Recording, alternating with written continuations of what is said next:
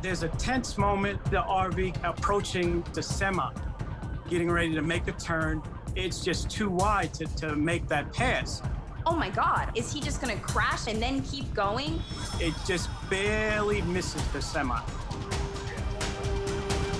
Car dealer Justin Pulowski is at his auto shop in Akron when he sees the wild chase.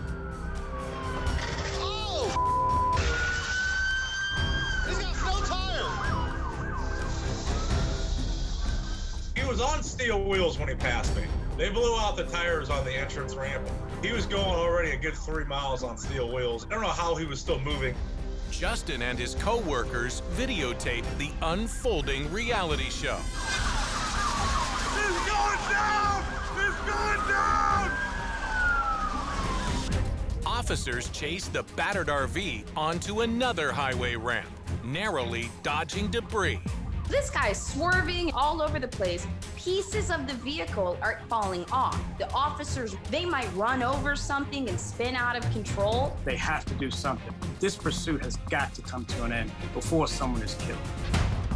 Even spike strips, Go, go, pull him, pull him, pull him, pull him.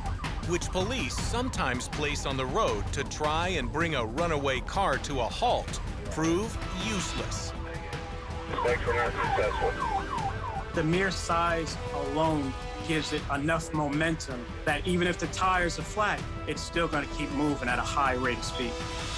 Still, the spike strips do cause some damage. Completely on rim, starting to slow down here a little bit.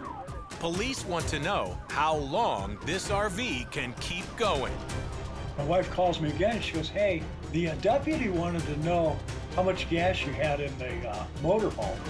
I said, Well, I always park it on full.